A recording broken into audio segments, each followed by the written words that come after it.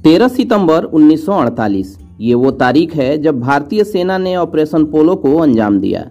इस ऑपरेशन का खेल से कोई लेना देना नहीं था, बल्कि ये भारतीय सेना की हैदराबाद में विलय के लिए सैन्य कार्रवाई थी। भारत के इस कदम से पाकिस्तान बहुत छटपटाया उसने संयुक्त राष्ट्र में भी इस मामले को उठाने की कोशिश की, लेकिन कोई फ़ायदा नहीं हुआ। क्षेत्रफल के लिहाज से तब हैदराबाद, रियासत इंग्लैंड और स्कॉटलैंड के कुल भूभाग से कहीं ज़्यादा बड़ी थी। अंग्रेज़ों के दिनों में भी हैदराबाद की अपनी सेना रेल सेवा और डाकतार विभाग हुआ करता था। आबादी और सकल राष्ट्रीय उत्पाद की दृष्टि से हैदराबाद भारत का सबसे बड़ा राजघराना था। क्षेत्रफल था बयासी हज़ार छह सौ संतानवे वर्ग मील। निज़ाम ने भरपूर कोशिश की कि उनकी रियासत किसी हालत में भारत में नहीं मिल पाए।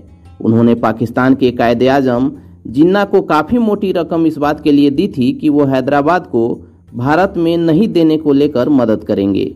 जिन्ना ने उन्हें इसका भरपूर आश्वासन भी दिया था। इसके अलावा निज़ाम के रिश्ते कई और देशों से भी थे। सबसे बड़ी बात निज़ाम की शादी तुर्की के आखिरी खलीफा की बेटी से हुई थी।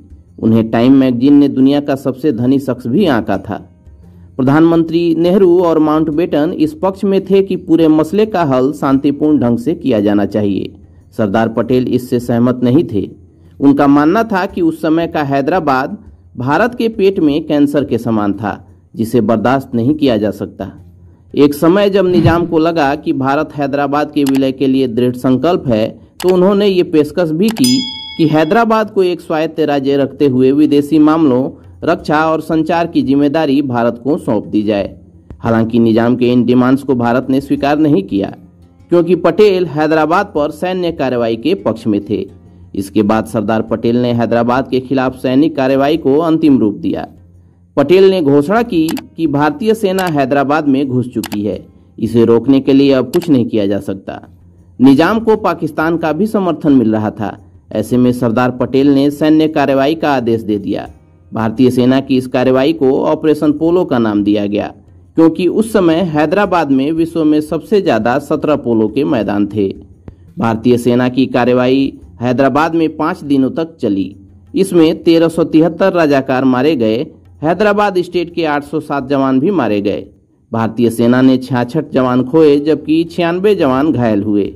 भारतीय सेना की कार्रवाई शुरू होने से दो दिन पहले ही 11 सितंबर 1948 को पाकिस्तान के संस्थापक मोहम्मद अली जिन्ना का निधन हो गया था।